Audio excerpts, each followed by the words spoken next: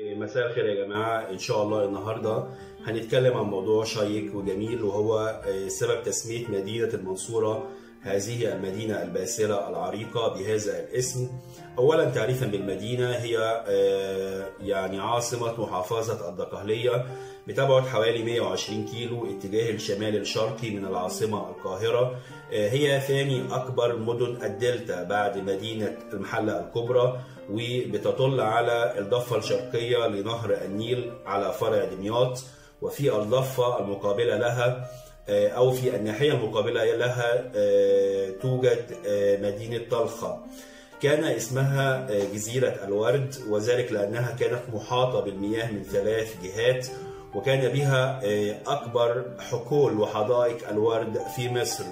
أسسها الملك الكامل أحد ملوك الدولة الأيوبية سنة 1221 ميلاديا وأطلق عليها المنصورة بعد الانتصار الساحق الذي حققه المصريون والشعب المصري العظيم ضد الحملة الصليبية السابعة في فترة المماليك سنة 1250 ميلاديا حيث حقق الجيش المصري العظيم انتصارا ساحق على هذه الحملة وأسر الملك لويس التاسع ملك فرنسا وأودعه أو اعتقله في دار ابن لقمان الذي يعد مزارا ومتحفا تاريخيا سياحيا هاما في المدينة الباسلة حتى الآن. من أهم أحداث المدينة أيضا معركة المنصورة التي دارت رحاها بين القوات المسلحة المصرية القوات الجوية والقوات الإسرائيلية. دارت هذه المعركة في سماء مدينة المنصورة في 14 أكتوبر 1973 وحقق نصور القوات المسلحة انتصارا ساحقا على الجانب الآخر في ذلك الوقت وهو يعد بمثابة يعني أكبر الانتصارات الحربية الجوية العربية حتى الآن. يعني دي نبذة بسيطة ومختصرة عن سبب تسمية مدينة المنصورة. هذه المدينة المصرية الباسلة العريقة بهذا الاسم. صباح الخير يا جماعة. إن شاء الله النهاردة هنتكلم في جمل بسيطة ومختصرة. هنحاول إن إحنا نعبر عن مدينة إسنا ومعبد إسنا. يعني نبذة طبعا بسيطة جدا وإن شاء الله في حلقات قادمة ممكن نضيف معلومات تانية عن المدينة والمعبد. نبدأ ونقول أن مدينة إسنا تقع جنوب مدينة الأقصر بحوالي 58 كيلو وأطلق عليها الإغريق اسم لاتوبوليس بمعنى مدينة السمكة. نسبة إلى أحد أنواع السمك النيلي وهو قشر البياض الذي كان يعبد من قبل ساكني إسنا في الفترة اليونانية الرومانية. ذكرت إسنا في النصوص المصرية القديمة بأسماء عدة منها إيونيت وتا سينت وسينت بحذف أداة التعريف تا ثم تطورت في القبطية فأصبحت سيني وفي العربية أصبحت إسنا. كما أطلق عليها أيضا خنت تا بمعنى متصدرة الأرض. معبد إسنا يوجد على الضفة الغربية لنهر النيل يبعد حوالي 100 متر عن نهر النيل ومقام عليه رأسيا على محور واحد وأرضه منخفضة عن الأرض الحديثة لمدينة إسنا الآن بحوالي 9 متر. كرس المعبد لعبادة المعبود خنم رع وهو الذي يشكل البشر على عجلة الفخراني وأطلق عليه عدة ألقاب في المعبد مثل خنم رع نب تا سنت بمعنى خنم رع سيد إسنا أو خنم رع نب سخت بمعنى خنم رع سيد الحقل. وهو آه يعني في برضه صورة جميلة للمعبود خنم بداخل المعبد. آه مكتوب عليها آه خنم با انخوي نفر بمعنى خنم الحامي الجميل.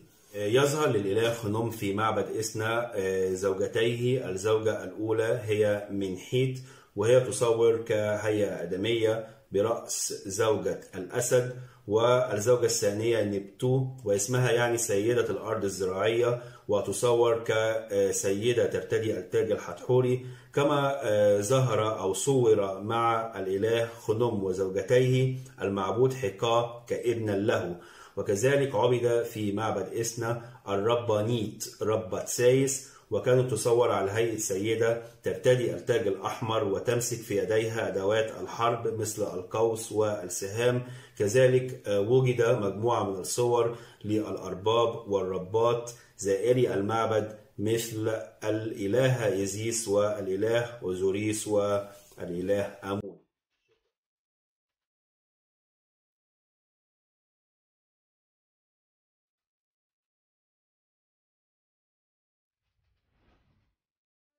صباح الخير يا جماعة. إن شاء الله هنتكلم بإيجاز شديد جدا ومبسط عن مقابر النبلاء الموجودة بأسوان هذه المقابر الموجودة في الضفة الغربية لنهر النيل هي في أسوان هي مقابر منقورة في الصخر وأطلق عليها مقابر النبلاء أو مقابر قبة الهوى أو مقابر قبة الشيخ علي أبو الهوى. هي موجودة في شمال جزيرة إليفانتاين وبتؤرخ لعصر الدولة القديمة والدولة الوسطى. لعل أشهر المقابر الموجودة هناك هي تلك المقابر التي تنتمي إلى حكام أسوان من الأسرة السادسة الذين أوكل إليهم مهمة القيام بحملات تجارية واستكشافية في المنطقة. من أشهر المقابر هناك مقبرة حاري خف مقبرة صابيني مقبرة ميخو مقبرة بيبي نخت. ده بالنسبة للدولة القديمة. وبالنسبة للدولة الوسطى مقبرة صائر نبوت مثال للمقابر الموجودة هناك أو يعني أهم الأحداث أو النصوص المنقوشة على إحدى واجهات المقابر الموجودة هناك هي مقبرة المدعو حاري خف هذا الرحالة. الذي نقش نص على واجهة مقبرة بدأها بالإشارة إلى ألقابه كحاكم إليفانتاين ورئيس الحملة ويشير إلى الحملات الاستكشافية الأربعة التي قام بها في عهد الملك ميري إنراع وعهد الملك بيبي الثاني. وكلا الملكان ينتمي إلى الأسرة السادسة فقام بثلاثة حملات في عهد الملك الأول وحملة واحدة في عهد الملك الثاني. من أهم الأحداث التي أشار إليها حريخوف أن في الحملة الرابعة في عهد الملك بيبي الثاني استطاع الحصول على قزم. يستطيع إقامة رقصات إلهية وقد أبلغ الملك بهذه الأخبار فرد عليه الملك برسالة بسعادة غامرة وشكروا على هذا الصنيع وطلب أو كلفه أن يبذل قصارى جهده لكي يأتي بهذا القزم سالما إلى العاصمة. وبالتالي الرسالة قام بنقشها. حريخوف على واجهة مقبرتي كنوع من أنواع الفخر. شكرا لكم.